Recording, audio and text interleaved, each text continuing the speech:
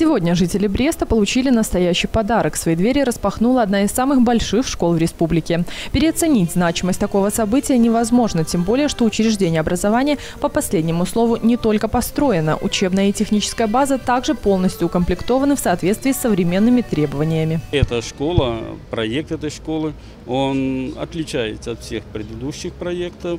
Такой школы в Брестской области нету как по наполняемости, в общем количестве новостроек, так и, конечно, по архитектурному э, ее состоянию. Школа в шаговой доступности. Об этом жители микрорайона Юго-Запад-4 еще недавно могли только мечтать. Сегодня больше 1200 юных берестейцев переступили порог нового, комфортабельного и современного учебного заведения. На строительство ушло около двух лет и больше 165 миллиардов белорусских рублей.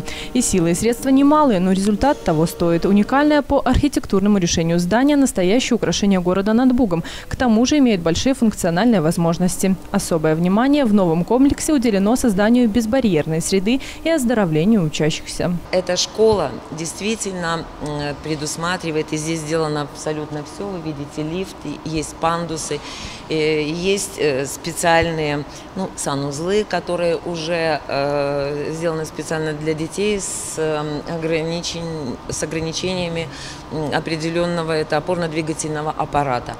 Э, и на сегодняшний день к нам в первые классы пришло пять таких учеников.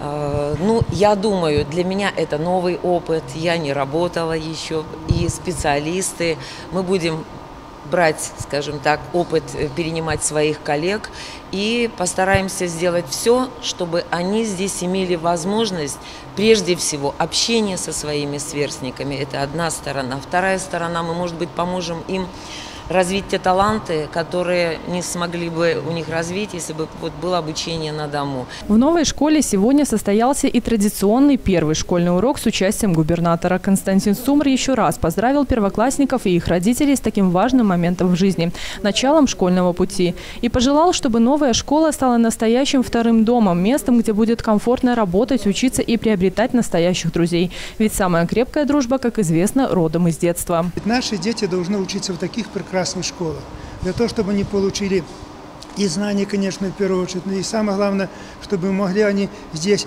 развивать себя и другие качества.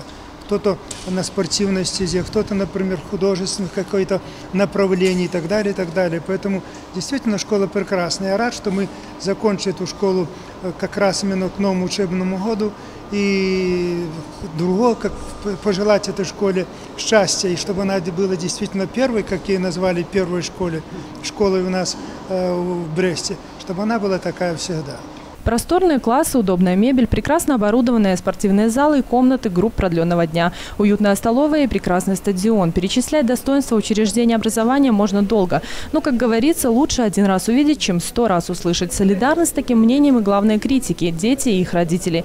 Те, для кого весь этот образовательный комплекс был спроектирован и воплощен в жизнь. Это много впечатлений. Хочется поскорее учиться, получать знания и хорошие оценки. Все очень понравилось. Конечно, это близко очень к дому, это большой плюс. Школа очень большая для всего микрорайона. И ну, она очень удобная, для каждого класса свой гардероб, это тоже очень большой плюс. Для нас это, несомненно, очень важно. Мы очень рады, мы счастливы, что у нас появилась такая хорошая школа, что она находится рядом, можно сказать, за забором. То, что наши дети будут здесь учиться, получать знания – будут заниматься спортом. Каждый родитель сегодня нас просто переполняет чувства. Мы говорим большое спасибо за такой э, подарок, который сделали вот для нас.